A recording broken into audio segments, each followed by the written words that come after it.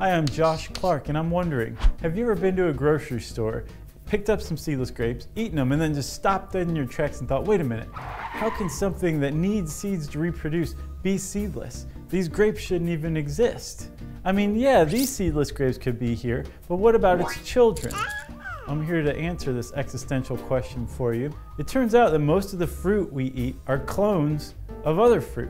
Most fruit is propagated, including seedless grapes, through cuttings, so they don't need to have seeds. Rather than following the traditional hmm? angiosperm method of reproduction, which means producing seeds and fruit to cover those seeds. So to produce a new bunch of seedless grapes, a whole new plant, you take a cutting from an existing vine, you dip that cutting in rooting hormone, and you put that cutting in a little bit of nice warm soil, a little moisture, and you've got a new vine that's going to produce more seedless grapes.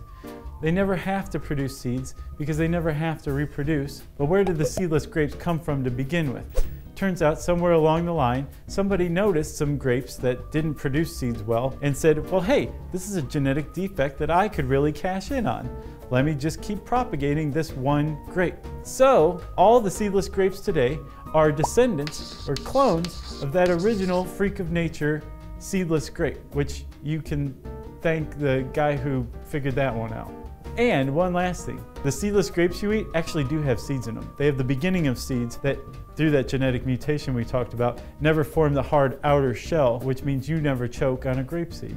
You can thank that guy whoever his name is. He was a good guy.